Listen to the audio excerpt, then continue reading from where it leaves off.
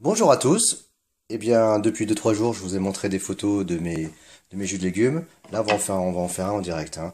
Donc voilà, on va mettre une carotte, une jolie carotte, de la betterave, excellent en ce moment, de la pomme et de la clémentine et un petit morceau de curcuma. Il est où? Voilà, euh, du curcuma en racine.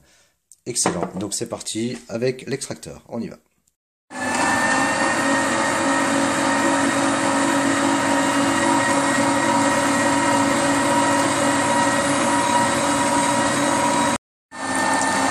D'un côté le jus et de l'autre côté les fibres qui sortent. Voilà. Très bon jus. Alors, excusez-moi, pas évident de filmer et en même temps de mettre. alors là, vous voyez, là on met de la pomme. Hum. Et donc on presse avec tout ça.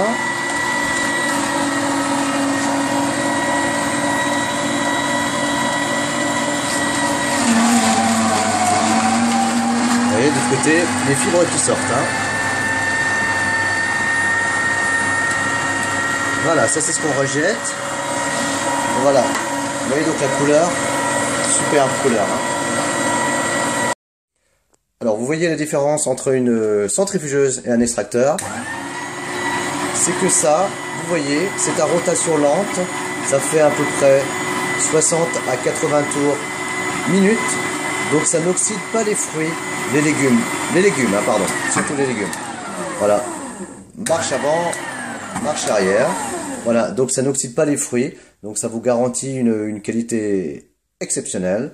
Voilà, il faut, faut vraiment privilégier euh, l'extracteur et la centrifugeuse. Ça n'a absolument rien à voir. Enfin, c'est toujours mieux quand même d'avoir une centrifugeuse, bien évidemment. C'est mieux que rien. Voilà.